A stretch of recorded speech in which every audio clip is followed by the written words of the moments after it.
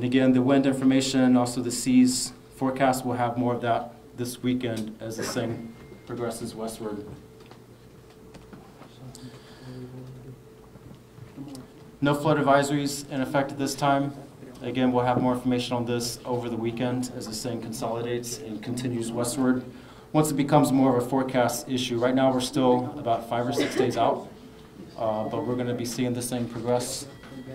Current significant wave height is eight feet, and that will grow significantly the next couple days. So based on the current forecast track, we're looking at possible category three, category four uh, intensity Tuesday. If you remember back to Typhoon Dolphin, that was a category one over most of Guam. Maximum intensity was category two. Um, this could be significantly greater.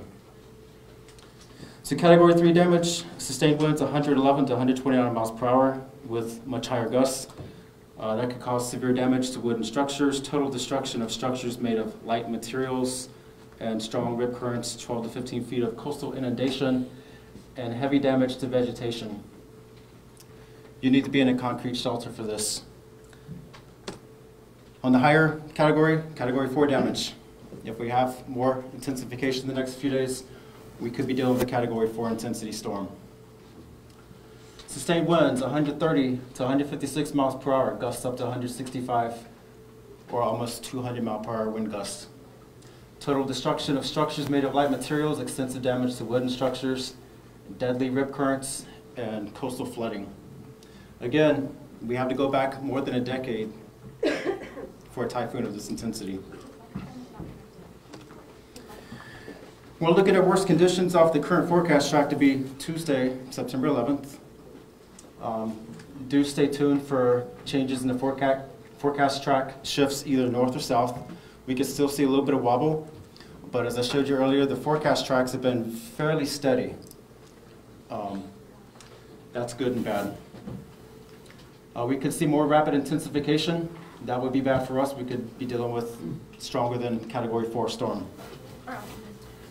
Erratic movement is always possible, but we don't expect it at this point because the forecast track has been steady the last several days in the models. Um, models have been pretty solid in their forecast tracks. Uh, if it is named, which will be tonight probably, it'll be from Thailand, Mangkhut for purple fruit. And I believe that's it, the end of this. Any questions about this? Well, what time Tuesday? Uh, we're looking at around midnight Tuesday night. We could still see a little bit of uh, change depending on the forecast speed and motion. Uh, the CPA still looks like it's going to be near Guam Tuesday night. And again, we can still see a little bit of wobble in that forecast track based off of its uh, speed and exact motion. You had a question? Yes, this is actually more for Coleman. Yes. Um, the cores, well, actually with, for you as well. So we're still staying with the cores, we're not doing the whole level situation? It's still remaining, it's still being classified as cores, right? Yes. Okay, Correct. I wanted to make sure. And then, um, shelters. We've been having a significant issue with the shelters. So we need to, are we gonna do the tier one with VOE like we normally do, or? Leo, if you don't mind, uh, maybe I can save that for the discussion after, and you can pull the microphones for. okay. Hold on, hold on. We'll just continue with the brief, and then we'll take the mic down. Yeah, again, uh, about the core, I'm going to go back to our tropical storm watches and warnings. We do not have any watches and warnings for Guam and the Mariana Islands at this point. Only a tropical storm watch for Enewetak.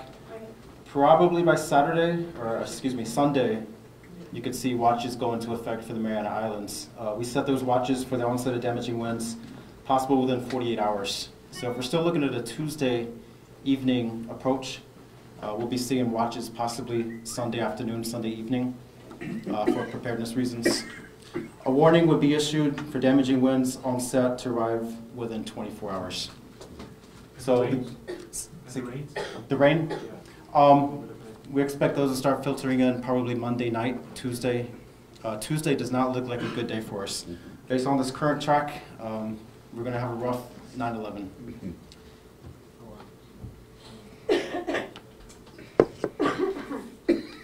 Again, the good thing is we have plenty of time to prepare. Uh, unlike previous events where they develop almost on top of us or just east of us. This is well to the east, but that's the uh, catch. That's the catch right there because it has a lot of time to intensify, you know, to get its act together. Um, again, we could be dealing with a pretty uh, potentially serious situation in the Marianas. Any more questions? Airports, will they close down? Um, It would be recommended, probably. So, Tuesday, Monday?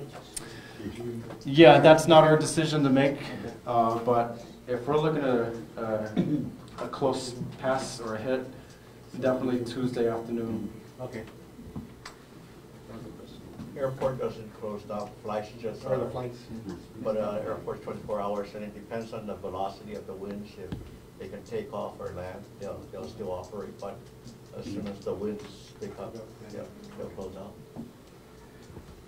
Um, I'm Roger Etz, I'm the science officer for the Weather Service. I've been here as, uh, almost as long as Chip, but he always comes here and gives ev- everything for you guys. But if you have any type of uh, meteorological questions, I'm here to, to answer anything. Landon is, is, is our guy that we're gonna go with for doing the normal briefings, so, uh, he, he, he can handle most of, most of the items. But if you have anything on the side, uh, I've been here through Paka, Pongsona, and just before Omar, so seen them, I've seen them all.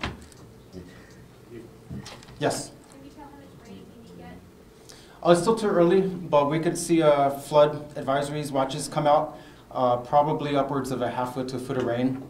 But really, it depends on how fast this thing wants to move through the area. Uh, we had a lot of the monsoon rains with, uh, I think it was uh, Typhoon Cimaron come through. We're not going to expect a lot of the monsoon. This is going to be more of a consolidated typhoon. So we're going to be dealing with most of those rains right there with that typhoon passage. With the system, uh, when, when the system behaves as forecasted, uh, does you want us to watch and warning? Yeah, we could be, if, if this track is pretty consistent the next few days, we could be looking at uh, typhoon watches and warnings, a watch Sunday and a warning on Monday. So you mentioned earlier the CPA here will be Tuesday. Yes, Tuesday night. Is that just saying it's gonna go directly over the island? Well, the current track has it right over almost Yigo Andersen, but it's still, we're still about four days out. Okay, So we could still see a little bit of wobble, but the models have been very consistent bringing it somewhere over the Mariana Islands uh, the last couple days. But more to the north?